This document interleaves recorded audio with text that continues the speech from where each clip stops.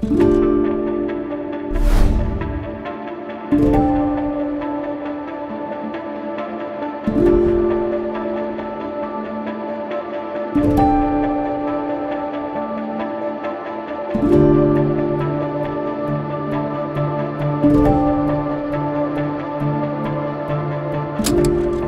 Nomos Tangente launched as one part of a quartet of watches designed by Susanne Günther in 1992, marking the beginnings of Nomos Glashütte.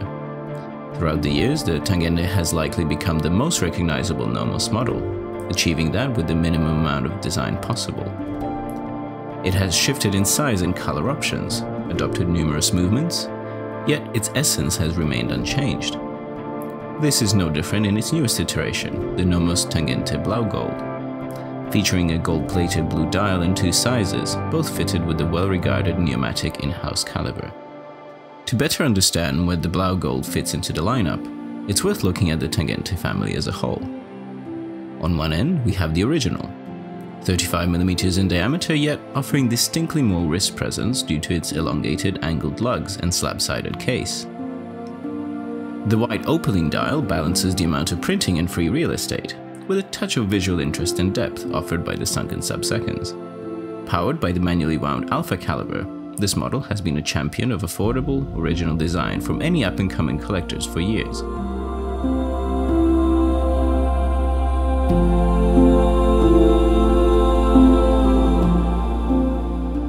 An excellent example of Nomos' consistent design language is the Tangente update, first released in 2018. At first glance, it's a pretty normal looking Tangente though.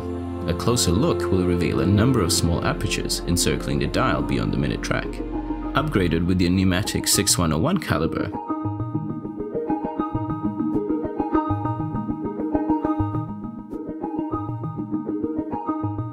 the Tangente update features a quick set date, easily adjusted forwards or backwards, though implemented in an unusual fashion.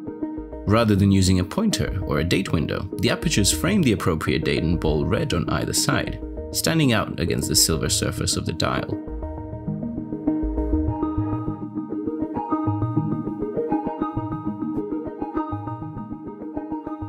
The newest member of the Tangente family is the aforementioned Blau Gold, and though my German is frankly quite poor, I couldn't help to wonder where the gold part of the name came from. A closer look at the spec sheet revealed the Blau Gold secret, however. Previously featured in a short production run of the Zurich Blau Gold between 2012 and 2015, the blue gold dial returns in the Tangente. While Nomos has made great use of galvanizing treatments for its dials, the brand adds an additional layer in their production, plating the dial blank with gold before further processing. Offsetting the main dial finish is the small seconds at 6 o'clock, and though it features the same color as the dial, its azurage finish changes the way it interacts with light completely. The printing is expectedly minimal, a feat I embrace with open arms, with the only deviation from the white and blue color scheme present in the small neomatik script hiding just beneath the brand denomination. Talking about a Tangente case in great length kind of misses the point as it's really not the main focus on any model in the family. It's meant to be functional and beautiful without attracting too much attention, just like the rest of the watch. That isn't to say that it's not finished to a high degree, of course, with pleasantly reflective polished surfaces, using basic shapes to its benefit. The Blau Gold offers two size options for its stainless steel case, a 35mm, akin to the original Tangente, and a larger 38.5mm diameter model, while protruding lugs give lug-to-lug -lug measurements of 43.5 and 47.5mm respectively. Thanks to the slim movement, the steel caseback variant is only 6.7mm thick, and though a sapphire caseback adds a fraction of a millimeter, it's worth it in my opinion. A worthwhile note is that Nomos calls the 38.5mm variant the Tangente 39, so don't let that trip you up if you're considering one of these. Apart from the dimensions, the other notable difference between the two is water resistance, whereas the larger Tangente Neomatik 39 has a 5 atmosphere rating the smaller variant is only resistant to 3 atmospheres. Different sizes mean varying lug widths as well. The 35mm goes with 18mm straps, the 38.5mm accept 90mm options, and only the 41mm update has the common 20mm spacing. While there's no quick release spring bars, which would be quite handy for a watch that benefits from changing up the strap, the quality of the factory option might make you wish to stick with it. Both sizes of the new Tangente are powered by the DUW3001 neomatik caliber.